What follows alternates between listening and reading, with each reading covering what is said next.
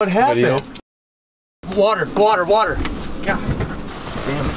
Oh, Yeehaw. Ah. Ah.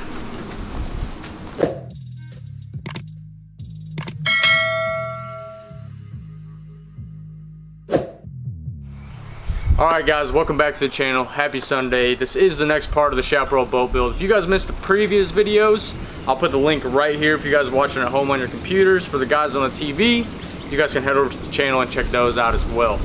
So what are we going to be doing today? Today is a big day because we have done all the cosmetic work on the boat and now we're going to be focusing on the engine. And we really don't know if it's going to run or not, but the good news is I got a brand new battery for the boat. And for you guys watching, a good tip, I learned recently the cheapest place to find a marine battery is Walmart. Yes, I do not like Walmart, but you can find a lot of cheap stuff there for a good price.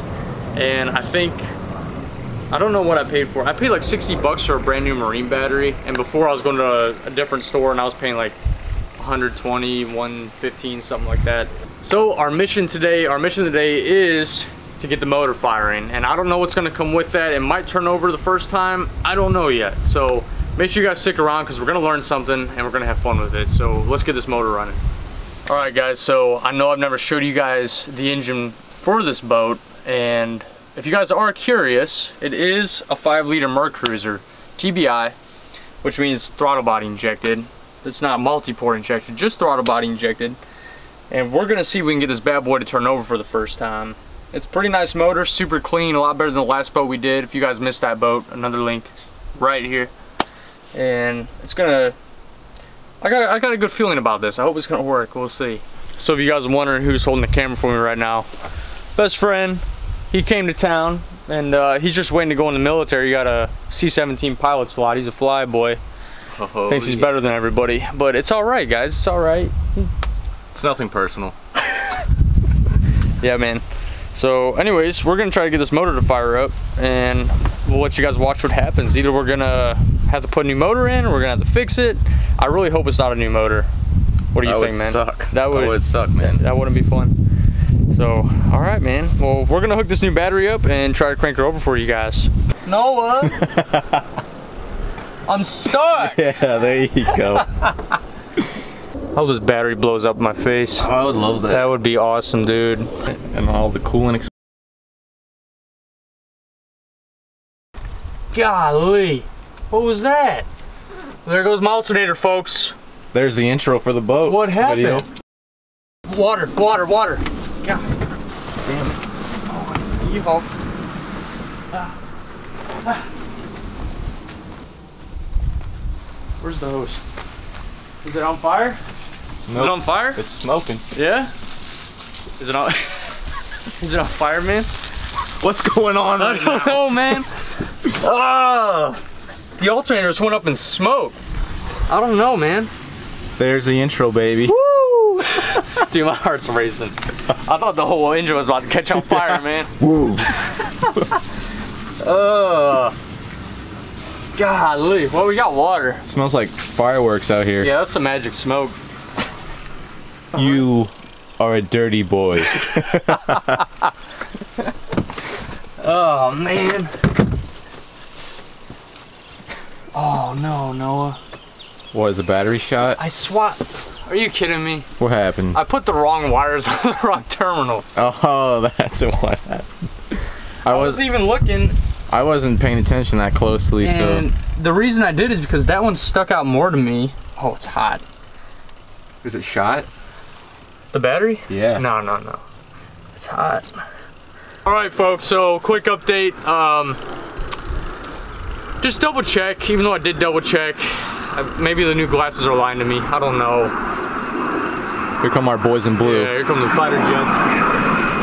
So, I guess the lesson here is uh, just don't be a jackwagon. I think that's it. What do you think, Noah? How embarrassing. I was even double How checking. embarrassing. I know, man. Golly. It's so hot. Hey, baby, missed it. Almost burnt the boat down. All right, my motor, my motor just caught on fire, so I think I'm gonna take some time to think real quick, and uh, I might need to get grab a bite to eat. Rolling. Saying everybody. Anytime I want to clear my mind, I always give me some Chick-fil-A. Do you ask for your fries well done? Yeah, I did. Who does hey, if that? you guys go to Chick-fil-A, Who does if that? you guys go to Chick-fil-A, always get your fries well done. What does that even mean? Just wait. They're they're super crunchy, super good. They're like it's time. good. Focus. We're good. All right. So after that jack wagon move, um, I got the wires on the right terminals. um, so now it's just time to see if the boat will turn over. And I'm not really worried about the alternator anymore. It did catch on fire. Probably gonna have to buy a new one, but we can still turn the motor over. Probably won't last that long because that battery's gonna lose charge because the alternator's not charging it. Um, but yes, the alternator did catch on fire. So, um, yeah. So before I start the motor, those fighter jets keep going. Oh man. Before I start the motor, I always like to uh, take the air cleaner off so I can see what's going on in the carb. It's pretty nasty and it needs a good cleaning. Um, but yeah, I always like to do that before I start. That way I can see if there's any smoke coming out or anything weird coming out. But without further ado, we're gonna start the motor. It's gonna be fun. You ready? good. Battery Yep. hooked up right? I think we're good. I don't. I can't believe you did that, man. I can't believe you did that. Three, two, one. Don't blow up. Oh, that's good. That's promising. That's good. Here we go. Oh man, she wants to go. Let's give it some fuel, folks.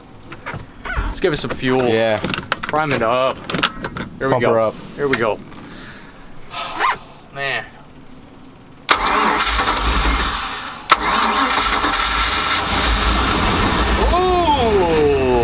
Ooh! You know what that is, folks? That's money.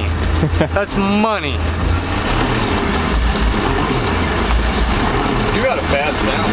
All we had to do was catch the alternator on fire. Alright. I don't want to let it run too long because we got to hook water up to this.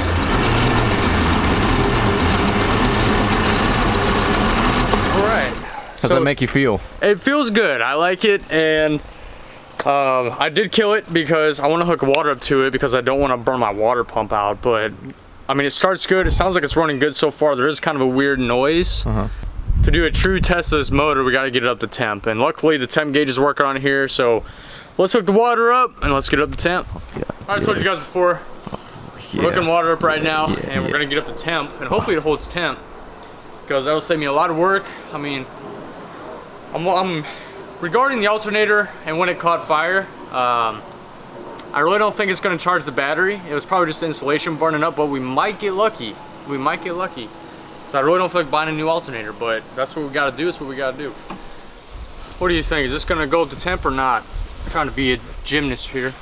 I think we're gonna have success. You think so? Yeah. I hope, man. The uh, fire and the alternator speaking to me. I can't believe that happened. And we got it on film for you guys. We're gonna watch our volt gauge and we're gonna make sure that goes up a little bit. That's how we know the alternator's working. I highly doubt it will. Um, and we're also gonna be watching our oil pressure. We want that to be good. And also our temperature. Whenever that gets up to temp, it should stay around 180, maybe a little below. But also this test, um, if our engine is not maintaining temperature, it could be an impeller issue on the outdrive, that water pump in the outdrive. So we get to test a lot of things now and then from there we can make our list and troubleshoot, but let's fire it up. I love when he talks shop people. Over and talk shop. Are you ready? Let's do it. Right up.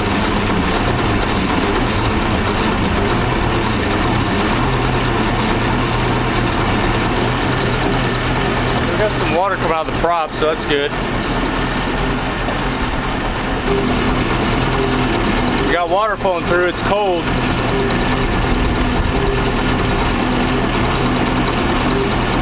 I can, I can smell that alternator. Yeah. I'm surprised it's still idling, man. It looks like it's holding the charge. Look. It might be, oh, it does well. Hold on, it's doing pretty good. She's doing good. What a what a daddy. Yeah. What are you, some kind of pervert? Dude, it's staying the same voltage. That alternator might be working. I don't know. You Oh, that's any- pretty sweet. Let's see if we got any leaks. Everything's looking good. Power steering's not leaking. I don't see any oil leaks. No fuel leaks. Oh wait, we might have a little fuel leak right here. Yeah, it's coming up. We just gotta tighten that up a little bit. I'll tighten it up right now. Keep that list short. What a man. That's right.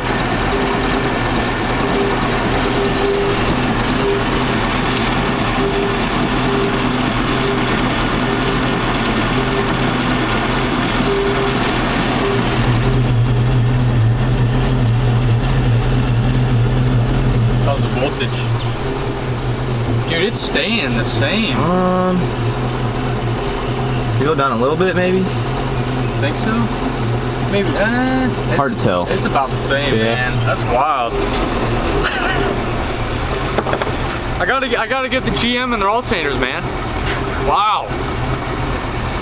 wow. Fireproof. GM, if you're watching this, good job. Good job. If you guys missed part one through five of this boat build, make sure you go to the channel or click the playlist right here to check it out. Hit that subscribe button. Have a great Sunday and stay busy, guys.